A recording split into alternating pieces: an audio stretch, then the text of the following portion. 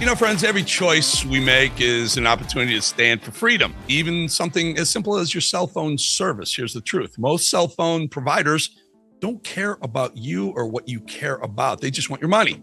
Patriot Mobile is different. For over 12 years, they've stood with Americans who believe in faith, family, and freedom. Yeah, it's a little different, right? Good to know that. Contributing millions of dollars to Christian conservative causes. The best part is with Patriot Mobile, you don't have to sacrifice quality or service. Patriot Mobile offers premium access to all three major US networks, so you'll never have to worry about coverage. Think switching is complicated? Well, it's not. You can keep your number and keep your phone, or you know what? You can upgrade both.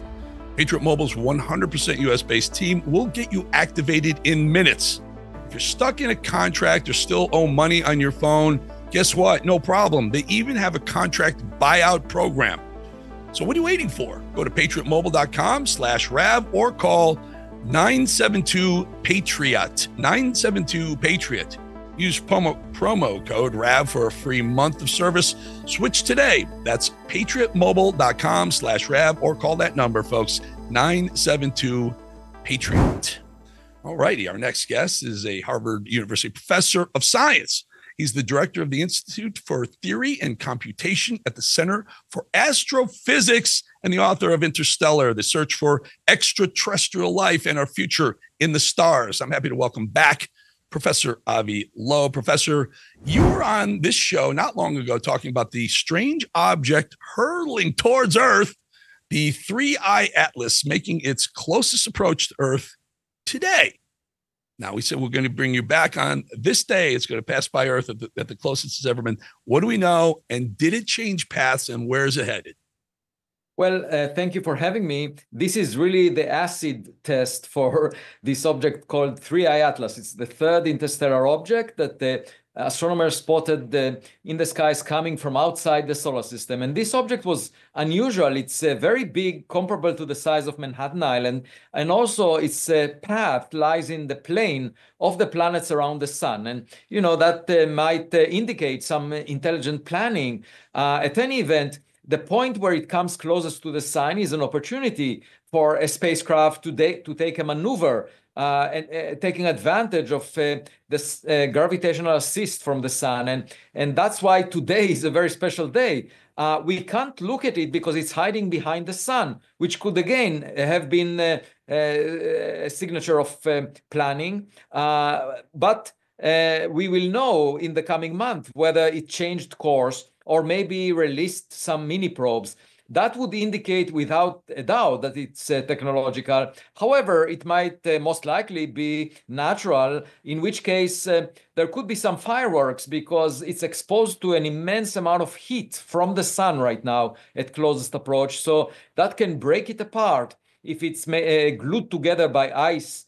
And uh, uh, in that case, we might see that it fragments and uh, we would see a beautiful uh, uh cometary tail uh, stretched behind it. And uh, these are the two possible outcomes. And we just need to watch and see what happens. it's really important because if it's a black swan event, a, a, very small probability event of it being alien technology, it would have a huge implications for humanity. However, even if it's uh, just natural, we will learn something new about the, the backyards of other stars. Professor Loeb, so many questions, but I'm fascinated this. Is this is wild?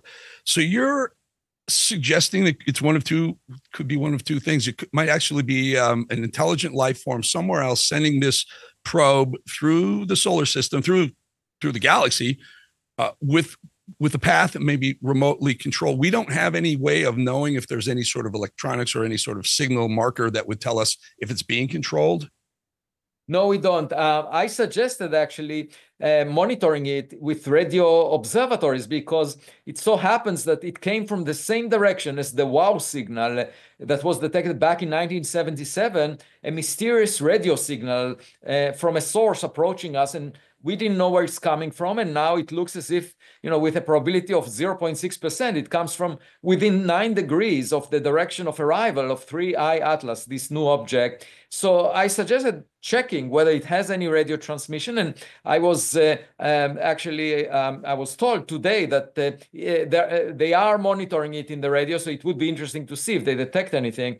Uh, other than that, um, if it maneuvers, obviously it's technological because uh, we don't expect a rock to do that. Uh, another signature of technology would be obviously if we had a high resolution image of it. And NASA took uh, the highest resolution image on October 2nd when this object came close to Mars.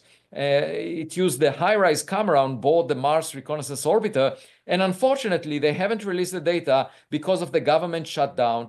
And I mm. corresponded today with uh, Representative Anna Paulina Luna, who uh, very graciously offered the help in trying to convince NASA to release the data so we can analyze it.